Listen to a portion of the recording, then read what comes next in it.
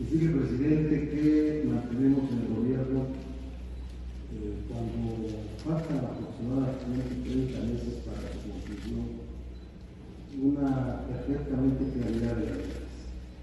Tenemos que tener un combate permanente a la inseguridad y en Puebla se mantiene un nivel de seguridad suficiente para que la, gente viva eh, la perspectiva de plenitud social, personal, familiar.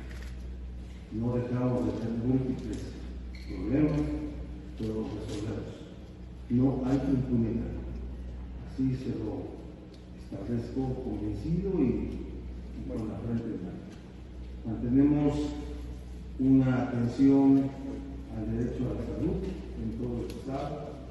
Mantenemos combate a la corrupción eh, con muestras claras, con muestras claras creyendo que la combate a la corrupción se combate pues, con un fortalecimiento institucional